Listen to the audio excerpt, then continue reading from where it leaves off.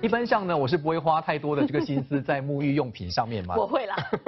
但是呢，近年来在市场上呢，有一款这个沐浴气泡球啊，当你把它放入水中的时候，它就会自动冒泡。而且这个东西据说有个非常厉害的功能，就是呢，你只需要有一盆水，就可以让你的小朋友玩的不亦乐乎。但是这个沐浴气泡在家里面到底要怎么样制作呢？我马上一起去看看。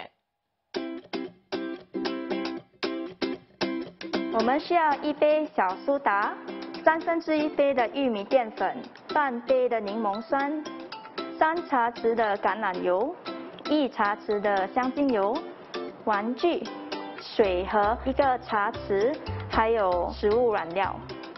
我们把这个小苏打给倒进去，玉米淀粉也倒进去，连两个一起塞，然后就用打蛋器把它搅均匀。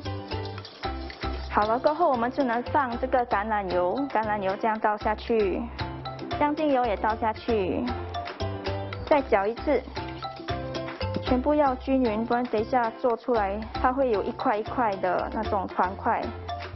所以你大概觉得它已经均匀过后，就能把这个柠檬酸给倒下去，再搅拌它。说柠檬酸在那个小苏打，它们两个混合在一起的时候，对水非常敏感。如果你摸的时候，你会感觉到它们有点冷冷，因为它们有一些化学反应了。尤其我是尽量不会在下雨天的时候做，因为那个空气也比较潮湿，潮湿的话，你做出来的效果就不会很好。现在我们要加入食物染料，今天我们要做的是蓝色。你随便都能买得到啦，在超市场买得到。可是我们先放一滴先，如果放太多的话，那个颜色会很鲜艳。其实用这个食物染料冲凉是不会染到你的肌肤的，可是当你在做的过程，它可能因为比较浓，所以可能会沾到一点，所以洗手洗几次它就会洗掉了。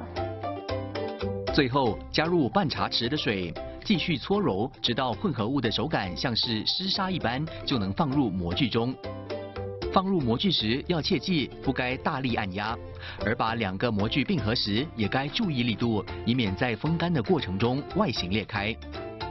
如果想要一些惊喜，你也可以在里头加入玩具，这样当沐浴气泡球在水中溶解时，可爱造型的玩具也会浮出水面。通常我们会用家里厨房找得到的 cling wrap 来把它包起来，包起来过后可以收大概三个月左右。不要放在厨房或者那种潮湿的地方，放在房间就可以收的比较久。